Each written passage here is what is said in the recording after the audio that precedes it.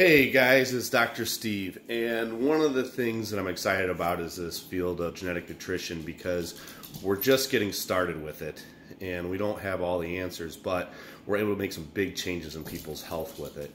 And one of the most popular things right now is this MTHFR gene. And everybody's like, oh, we need to supplement with folate, we need more folate to support that enzymatic pathway.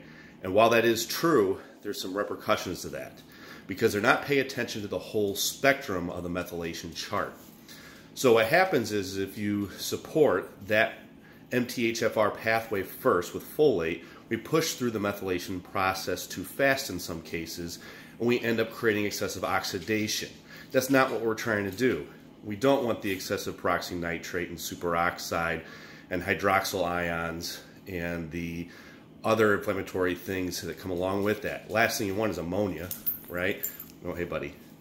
So, my recommendation, and what I always start with when I'm doing genetic nutrition, is I'm going to look at the SNPs and I'm going to support all the detoxification and the digestion pathways first so that then we can move on later.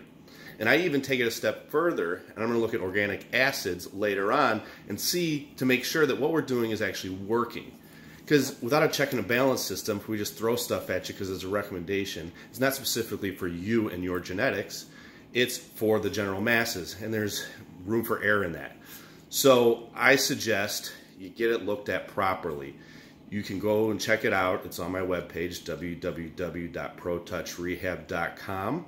And you can always watch all my great videos here on Facebook. And make sure you subscribe to my YouTube channel at Dr. Steve Spencer.